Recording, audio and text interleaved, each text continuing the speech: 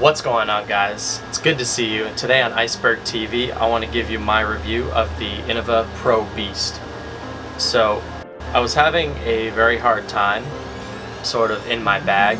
I had way too many discs that I was throwing well but they were all very stable and I was having a really hard time doing hyzer flip shots and turnover shots. So um, I was talking to one of my buddies and he just had some discs in the back of his car and he had this thing so he, he sold me this guy for five bucks.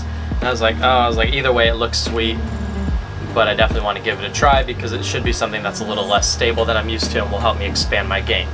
So this actually full time is in my bag because I had such a good experience with it.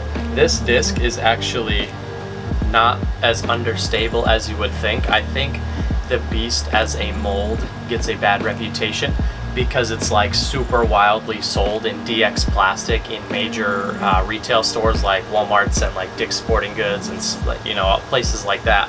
So everybody who has ever owned a Beast has usually owned like a DX Beast when they first started and those DX Beasts are like impossibly understable to throw like they're not good. So I was like, kind of had that in my mind when I first decided to start throwing this guy.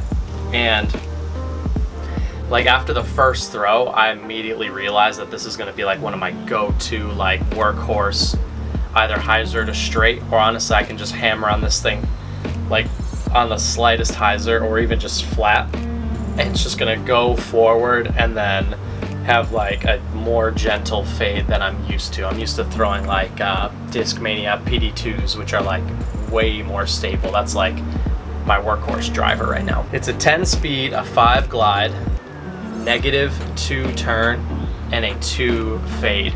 It, this disc literally has the ideal flight for like tight, woodsy shots where you need to finish off to the left. And you know, most discs are able to do that, but this beast goes straight so much further than so many other discs the full flight of this disc is a huge emphasis on a forward punch. It maybe tips over, it just kind of tips over just a little bit and goes really straight, slowly comes out of it and then crashes to the ground at the end. So I've been throwing this again in the Pro Plastic. I'm a huge fan of Pro Plastic. Um, I don't see as many people throw it as I think should throw it, especially I live in Georgia and it's really hot, like it's literally 90 degrees plus every single day in the summer. When your hands get sweaty, it's really hard to hold on to harder plastic discs like Champion or um, RPM Discs has their Cosmic Plastic or Discmania C-Line. A lot of people throw those types of plastics and when it gets hot and your hands start to get a little sweaty, it's like literally if it's like 90 degrees, like 100% humidity, you literally can't hold on to those kinds of discs.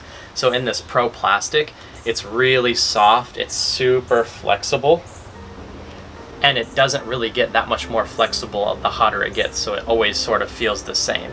Now, no matter how like sweaty you get, all you have to do is wipe a little dirt on your hands, grab your Pro Plastic, and you can actually get a good hold onto the disc. Some of my other drivers, when it gets really hot, like close to 100 degrees, just slip right out of my hand. They go that way, and then I and then I get angry. But this disc, I can literally every time I throw it perfectly like the same way every single time. I've had literally no issues with this disc.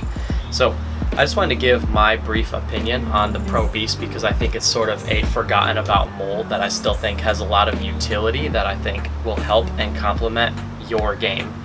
Let me know if you throw a Beast or if you're interested in trying one out leave a comment in the comment section down below. This is Iceberg TV, and I'm out.